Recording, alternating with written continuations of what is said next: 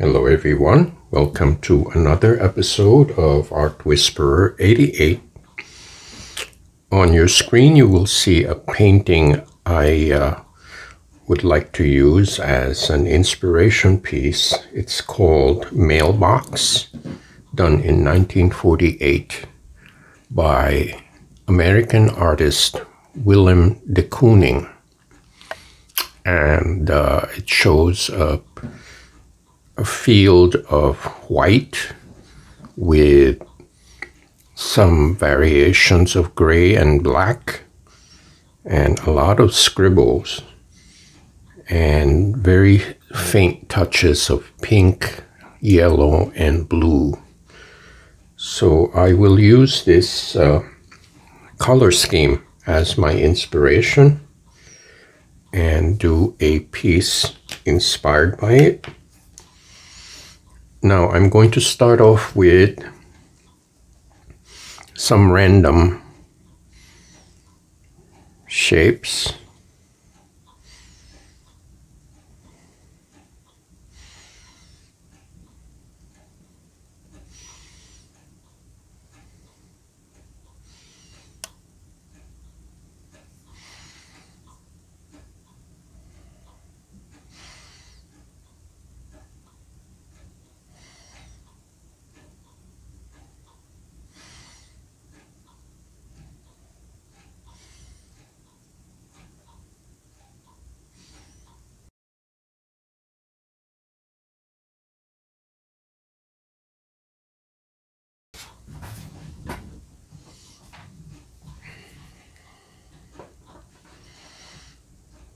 Just some random black lines with my Sharpie pen.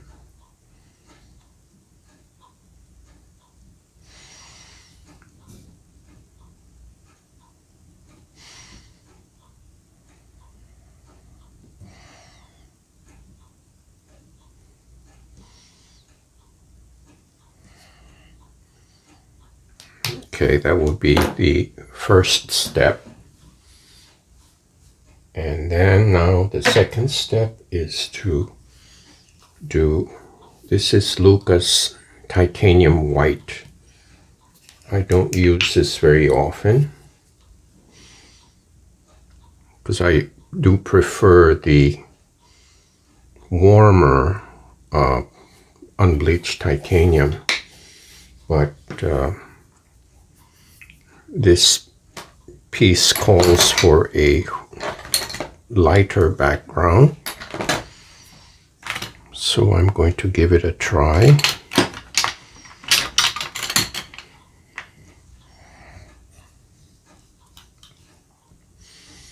And uh,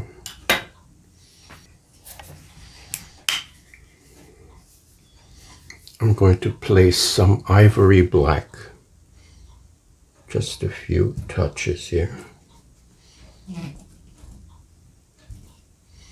Just to provide that uh, kind of smeared look.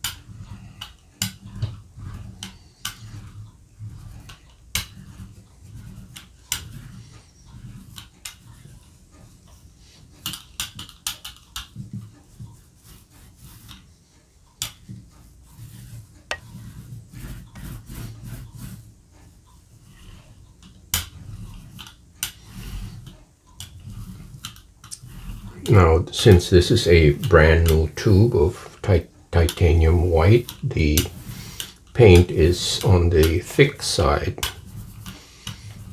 So um, I'm doing my best to spread it very evenly and thinly.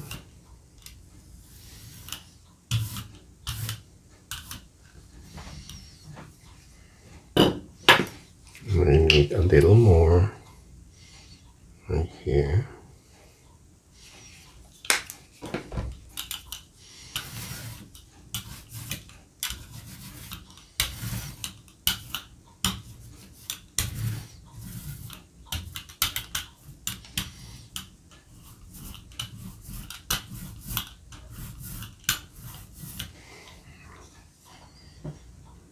Okay.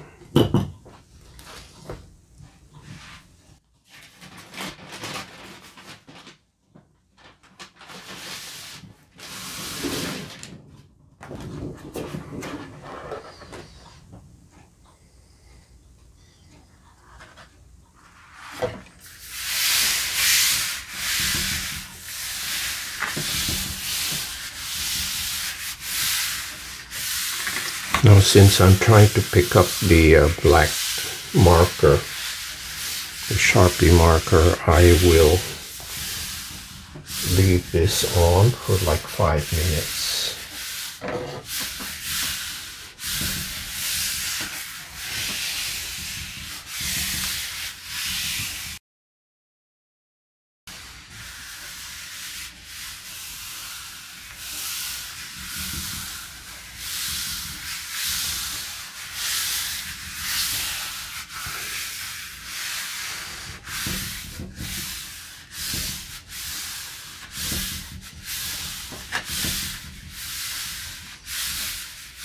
Okay. I'll leave that on while I soak my brayer.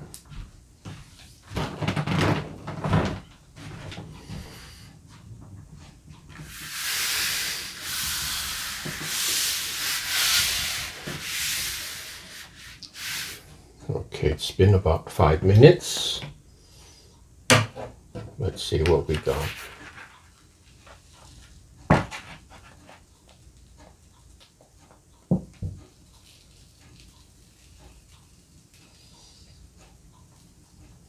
It's a very aggressive uh,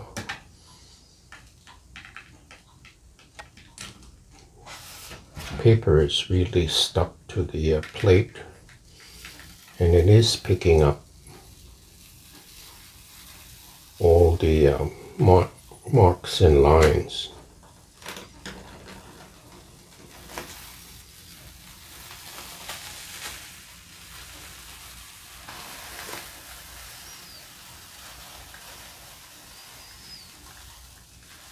See, there's a lot of parts here that the paint dried and did not transfer, but that's okay. I uh,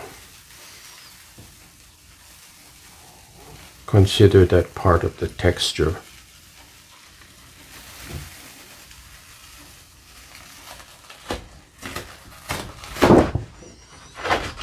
Okay.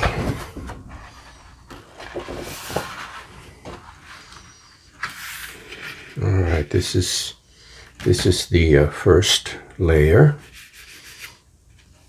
Seems to be very dry already. Uh, I think it's because the the paint here is on the thick side, and uh, I find that generally that paints that contain white, like light colors or pastel colors, they are on the thicker side and dry much faster. But I, I do like the result. I like this faded section here. So anyway, I will continue on to the next step and maybe introduce some of my reusable stencils.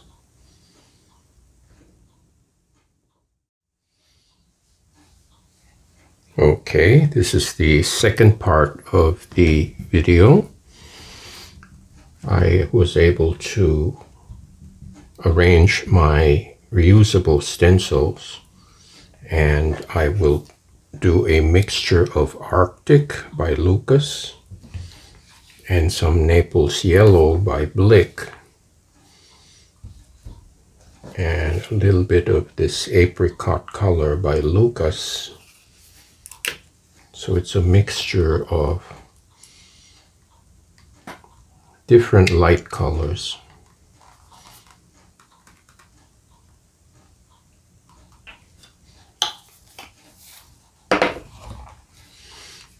And I, as I had mentioned before, the lighter colors tend to be thicker than the dark ones.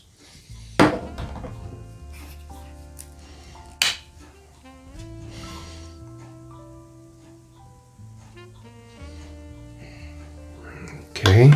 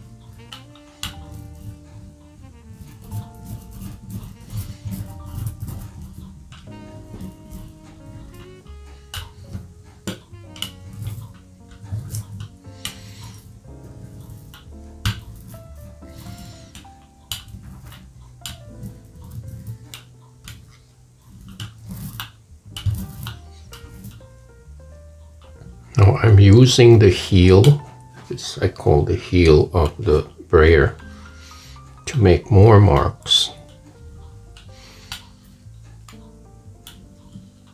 Instead of using my stick.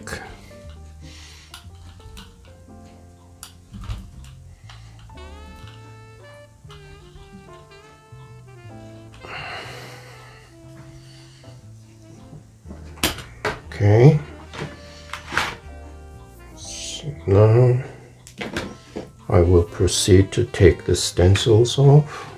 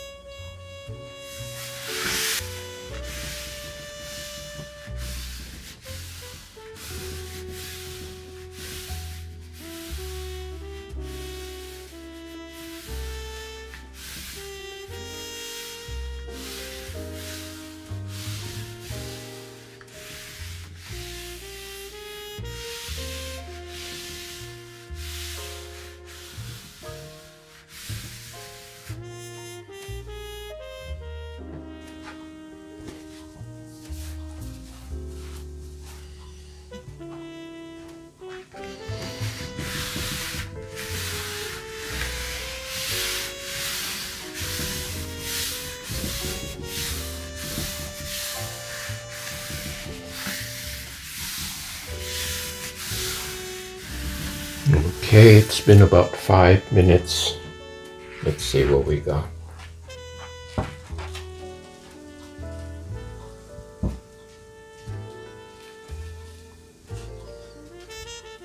It's an interesting blend of color. And I think the result is it is uh, semi-transparent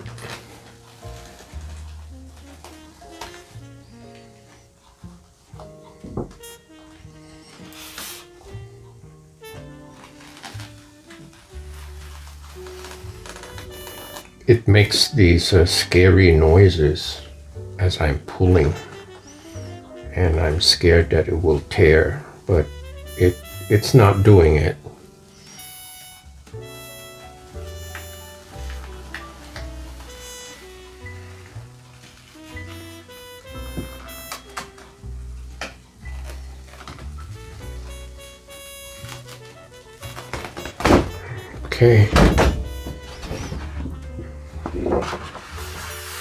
Pretty cool. I'm glad that the um, second layer covered this part that was a bald spot. And uh, okay. So let me see. Um, I can uh, air dry this and consider the third layer. So don't go away. Okay, so now I plan to place uh, some ivory black here in the middle and then silver on the top and the bottom and um, the black will provide some contrast. And uh, it may not look exactly like the inspiration piece, but that's okay. There'll be a slight resemblance, but again, I want to stress that uh, when you use an inspiration piece, you don't copy the piece, you interpret it.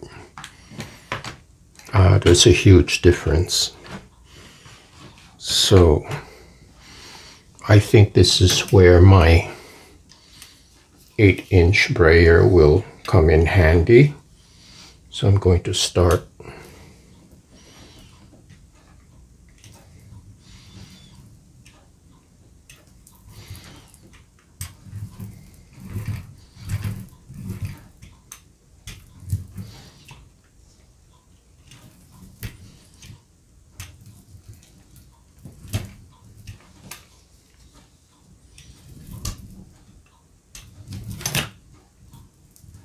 I have to be a little careful because the the brayer creates like a suction when it's moving too fast.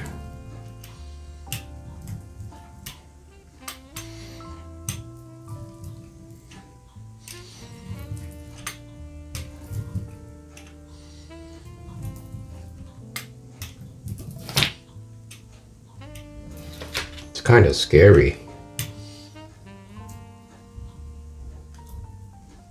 There. I'm not gonna I'm not gonna push my luck and not play with this too much. Okay. So again, I will take the stencils off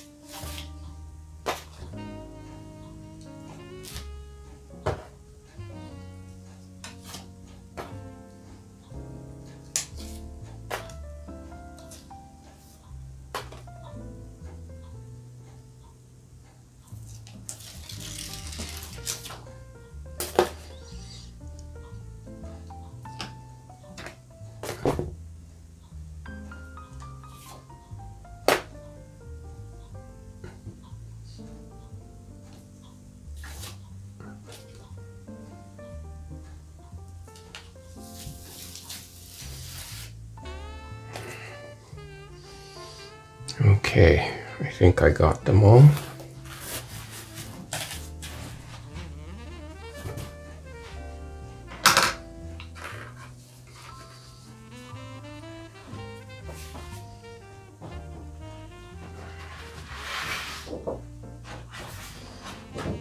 And just to refresh your memory, here is the second pull.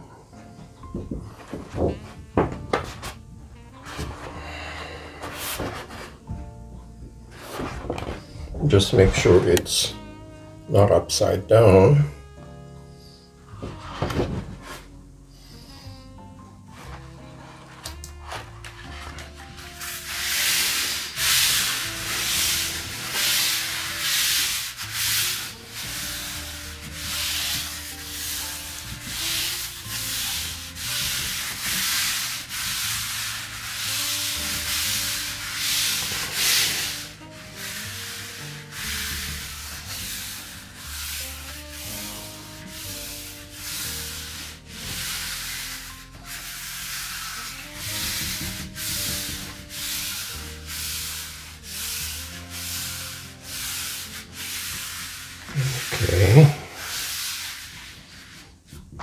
Just soak this.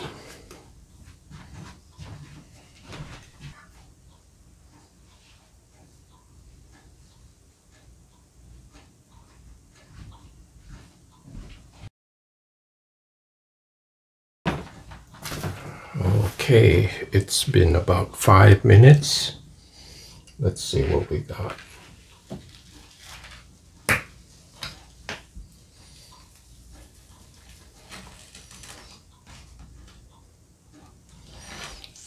Think the uh, last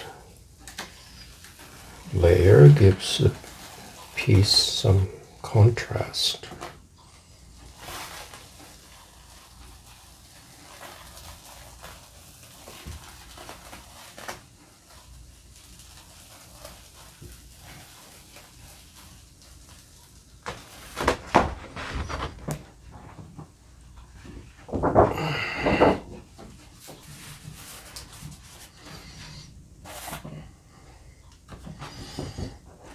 There we go. I think that's pretty cool.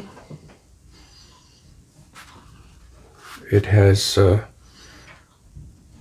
very little resemblance to the inspiration piece, but it carries the same uh, color scheme more or less.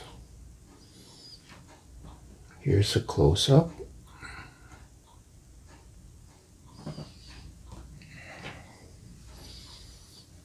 Pretty cool. Again, this is in keeping with the mid century modern look. This is geometric abstraction, and that was the uh, the trend or the school of thought during that time in American history. Um, I think this is a standalone. I'm not going to add any more. And uh, I think it worked out. It's a different kind of uh, color scheme. It's a little softer and more minimal. And uh, I like the interplay of the uh, Sharpie pen lines and the silver gives it a little shine. It looks like graphite. Um, actually, let me show you the close-up so you can see the textures.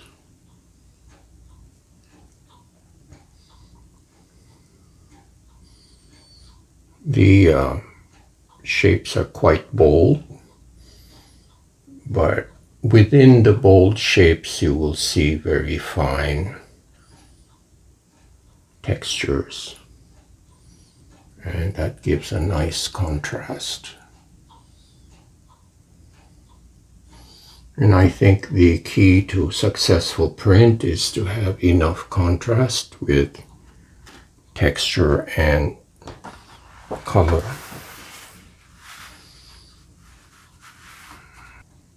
Inspiration piece derived from William de Kooning's mailbox done in 1948.